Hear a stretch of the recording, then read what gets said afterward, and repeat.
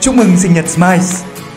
Trải qua hành trình phát triển 5 năm, Smiles đã và luôn nỗ lực không ngừng để mang đến cho khách hàng trải nghiệm dịch vụ chuyển tiền quốc tế tuyệt vời nhất. Với Smiles, khách hàng đáng quý như người bạn, người thân là động lực để Smiles không ngừng phát triển và nâng cao chất lượng dịch vụ. Và trên bước đường này, Smiles vinh hạnh khi nhận được sự hỗ trợ nhiệt tình từ các đối tác là những ngân hàng lớn tại Việt Nam.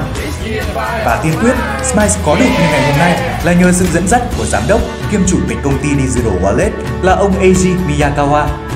Những nỗi niềm, lo lắng của chủ tịch đều vì mong muốn mang đến cho khách hàng một dịch vụ chuyển tiền tốt nhất.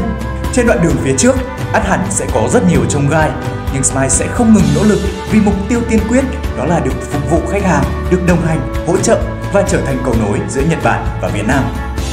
Một lần nữa, xin chúc mừng sinh nhật Smile 5 tuổi. Hãy luôn thành công và phát triển không ngừng.